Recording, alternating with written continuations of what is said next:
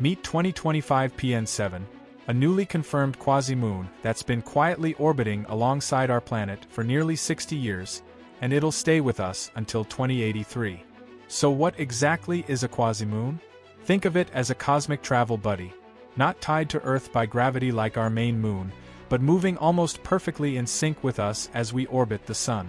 It's like a marathon runner pacing you on the same track, close enough to notice but never touching. NASA says 2025 PN7 is tiny. Just 18 to 36 meters wide, roughly the size of a small building. It was discovered this year by astronomers at the University of Hawaii's Pan-STARRS telescope, who noticed a faint speck of light following Earth's orbit almost perfectly. After weeks of observation, the data confirmed it. This wasn't just another asteroid passing by. It was matching Earth's speed and position so precisely that it's now officially classified as a quasi-satellite.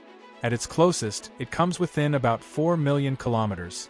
That's roughly 10 times farther than our moon.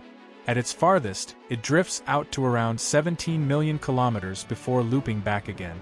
These movements happen because of the delicate gravitational balance between the Sun, Earth, and neighboring planet.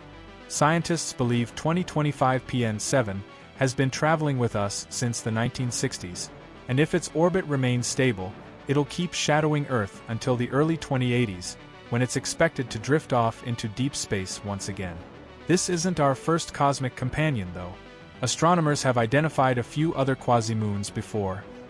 Like Kamo'oalewa, Cardea, and 2023 FW13, but each follows its own unique orbit and stays near Earth for only a few decades or centuries at most. Interestingly, 2025 PN7 belongs to a rare group of asteroids known as the Arjuna class, objects with Earth-like orbits, almost the same distance from the Sun and very low tilt. Some researchers even call this group a secondary asteroid belt, circling close to Earth. For scientists, quasi-moons like this aren't just fun discoveries. They're key to understanding how gravity and resonance work in our solar system. They help improve our orbital models and could even become future testing grounds for small robotic missions. So no, 2025 PN7 won't ever replace our real moon, and you won't see it glowing in the night sky. But somewhere out there, this tiny space rock is quietly keeping pace with Earth, orbit after orbit, a silent traveler sharing our journey around the sun. Comment what you think about this. If you like the video then don't forget to subscribe, it really motivates us to create helpful videos.